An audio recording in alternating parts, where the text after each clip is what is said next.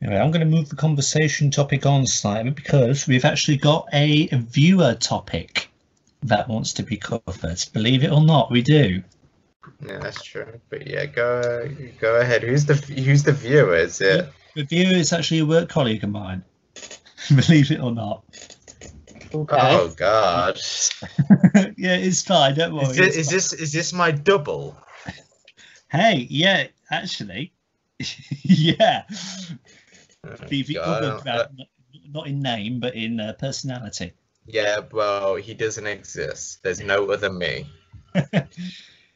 So, despite like, it's based around now. It's based around football, but it's not about football. It's a, it's an ethical kind of thing. So I don't know if you're aware in the news this last week this thing about a, a player called Christian Eriksen. M. Yeah, who had Yeah, a- he, he he collapsed right during the match. Yeah. he had a cardiac arrest and how the the whole thing is about how the BBC didn't cut coverage on it and they kept the cameras on it all throughout the entire thing. And the question being posed to us is that is that right?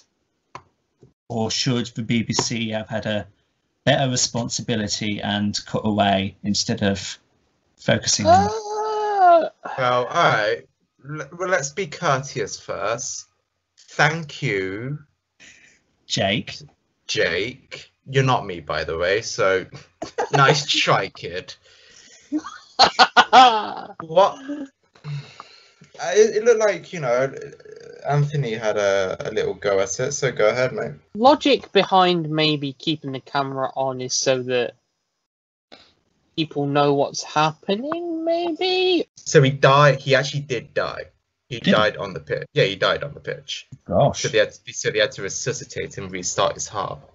But they've yeah, and they've fitted him with They fitted him with a. It was a weird name. It's called a heart starter. So I imagine he he has abnormal heart rhythm apparently.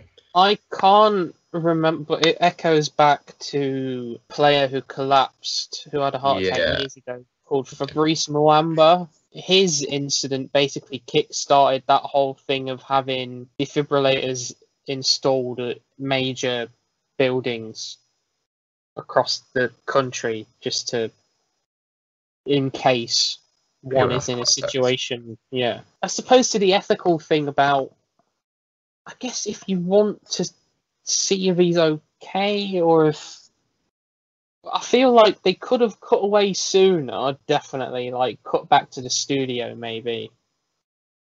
Because it's one of those situations where it's obviously it's stressful for his teammates, his friends, his family, so and even one of the presenters in the studio who was doing coverage for the BBC did get quite distressed because it's that thing of like echoing back to Fabrice Muamba, who, as we've just talked about, but um, yeah, I think they could have cut away sooner because it is a distressing situation. I doubt they deliberately kept the camera off. No, because at the end of the day, let right, this is my two cents on it. At the end of the day, the BBC doesn't give a f- about the ethics of something. As if something is going on, they're gonna cover it. They had no idea what was going on either. No, You know, these are people that are just pointing a camera and they're streaming it and they're like, okay, a player has fallen over. They're probably, you know, whatever condition they're in. They didn't know. no, If you're asking regarding the ethics of it, because these are two different things and at the end of the day, like entertainment versus ethics, you know, it's you got if you're an entertainment company, yeah, you're gonna keep the camera on the guy having a heart attack on the pitch because whoa, why wouldn't you? Because then you can, you know, put that on the YouTube channel, and that's got a lot of views because that's where I watched it. On the YouTube channel because I didn't watch the game. I only watched England. I didn't care about anyone else. The ethics of it, yeah, they probably should have cut away. But I am not going to apply ethics to the BBC. They're going to show what is going to bring in the, the kind of the viewership. And it's not just the BBC that are showing this. Is the amount of studios that are going to be at the UEFA. Did they upload it after the After the- ah. They never. I don't know if they loaded it after the fact, like as soon as it's gone up, but they did a news coverage of it later that day. I don't know how long it takes for them to upload stuff on their YouTube, but it's on there if you can watch It it. was, it was a live event, wasn't it? It was being live broadcasted. I broadcast it. Yeah. Yeah.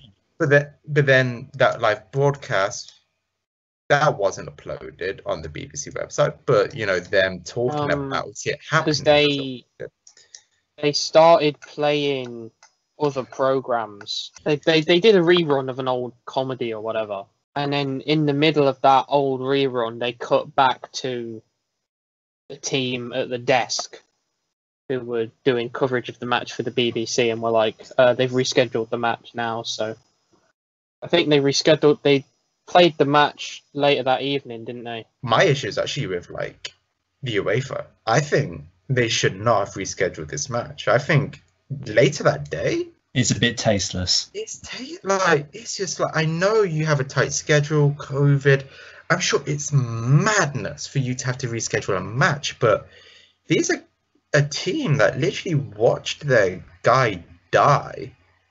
We have to be resuscitated. Like they stood around him. I don't know if you've seen it, Lawrence, but they yeah, they they, they formed a circle around him as he was being resuscitated. I I know I wouldn't want to go and do a football match after watching Well, like, you know, Lawrence have a heart attack.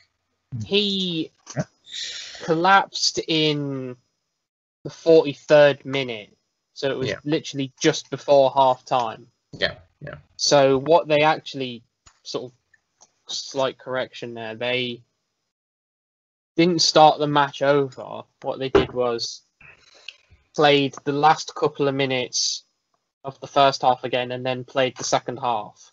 But they sort of had to rejig what in what space they took breaks and stuff because of the disruption that the incident caused. But yeah, But you know, like again, like on the whole ethics thing, Hmm. I agree with like Anthony. I know it's, I don't know if it's your opinion, but you did say is that I think it is important to show these things because Oh it, it blew me away. I was like, these are the most healthy motherfuckers. You know, in general population, these are guys that literally work out every day. Yeah. And they still had a heart attack. Yep. A, a condition that we tend to associate with people that are unhealthy, overweight, who have bad diets. These aren't those people. One minute, he's running. He's looking great. He's being a footballer. Next minute, he's dead. And it's like, whoa. It, it makes you kind of sit back and be like, oh, f- Mm. You know, maybe, you know, I guess a bit philosophical here, but, you know, enjoy every goddamn moment you can because, you know, just because you look great, just because you're as fit as a dog, as they say, you know, like, Yeah. you never know, when, you never know when your, your time is. Also, as we've been talking about, like the ethical side of things as well, it kind of seems like you could maybe interpret it as like the camera people were just shocked and they were like, like they were unable to cut away because they're shocked and they're like, oh, f- what do we do? Well, Um, again, it's not. It's like again, it's not like the cameraman is probably not shot. Yes, I'm sure some of them were, but what else are you going to point your camera at? It's Mm. just players standing there like this. But surely, like in that case, there's a control room that would be able to cut the Of feet. course, there's a control room. They Well, I they think literally most do of that. the Cut away to different cameras. is that I match did that. just I- being aired on the BBC or was it ITV as well? I it was BBC. just, It was just it was BBC. B- yeah, it was just BBC. Yeah. all the all the matches that I've seen, which is like one because again England's only played once, it's been on the BBC. But like I did that. I I did control room stuff at college where I I controlled the cameras. Like we had all the ca- the stationary cameras set up for this catwalk, and I controlled the the, the, the machine. Hmm. So of course they have that. You know, BBC, and most likely it's at the BBC. But what are you gonna show? And to be fair, You- most of the rest of the footage after his collapse is Yeah. his teammates. just standing around him. You know what I mean? Yeah, But to be fair- they, they even cut away to his wife crying. Like, it's not super. Op, you know, it's not super. Like, you don't have to debunk it. They're showing what is the money makers. People also- aren't making decisions because it's ethical. They're doing it because it makes money, and then they might disguise it as ethical. You would assume, being a general viewer, that the Beeb would take the ethical approach, but as Bradley has been saying, it No does, chance. from a purely Hmm. cynical standpoint, Yeah, it I am- in views. I am going to be completely honest here and human. If I was watching that game, I would want to see. I would want to see. I'm being straight up honest. Yes, of course I want to see. It's called morbid curiosity, isn't it? Yeah, it is that. That's Like if they, if the, like you know, no, you know, again, being honest, if the BBC cut away from Christian Eriksen, I'd be like, you mother, what are you doing? I want to see. in the grand scheme, they Yeah. probably should have cut away, and it seemed a Yes. bit weird to re- to have the second half of the match play when they could. Uh, But I also, but also structurally, as you say, the Euros, given the current world climate, it is a bit. They're on a tight schedule, and They are because there's a there's a game played every day. It's been on every day. You can't reschedule that no, without impacting the rest of your schedule because these players need a rest. So okay, let's say you push that up the next day, then they're going to Yeah. need equal rest as compared to the other games that are playing. So then you have to reschedule everything. It, it's not it's not possible. as for Eriksen himself, he he's in hospital, I believe. He's recovering. Um, he's been fitted with a Heart starter. im- implantable cardioverter defibrillator. So not Uh, like pacemaker. Basically, yeah. yeah, Uh, it'll shock your heart if you have a heart attack. Uh, descri- uh, Boesen, who I think is the manager for Yeah. the Danish team, describe uh, necessary due to rhythm disturbances following his cardiac arrest. But that, you know, as I, I'm not an expert here, but it sounds like the end of his career. It doesn't sound like young Uh, after that. Walking yeah, around with a heart pacer. no, I, I can't remember whether uh, Fabrice Muamba carried on his career after he had his heart attack in that match. like, but like, let's be honest. Like, if you're a manager, hey, we have this guy, and then we have Christian Eriksen, who could ha- possibly have a heart attack on the pitch. You know, Yeah, so uh so the other player I was on about, Fabrice Muamba, he's he suffered his heart attack in the March of 2012 yeah, I think I remember that. Yeah. and his heart stopped for 78 minutes. Whoa. He was he was dead for over an hour. Uh, following You- medical advice, he announced his retirement from professional football in August the same year. Exactly. He. I'd be very surprised if Christian Eriksen played again. But to be honest, Christian Eriksen wasn't dead an hour. There's going to be major condition that you're going to have being dead an hour because your Oh your yeah, but even major brain damage because that's going to e- your brain yeah, begins dying as soon as there's no blood. But he's apparently he watched the rest of the game from hospital.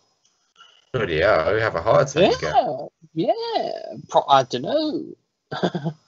But I Um, know a lot of people have visited him. I know he's doing fine and everything, but Yeah, I, I, I, I don't see him playing again. no. Thanks, Jake. Nice try being me, but it ain't gonna happen. No, no, yeah. Nice suggestion, man. It's a d- it's an interesting topic, especially recently since the- is this the next new segment? Uh, what viewer? Or viewer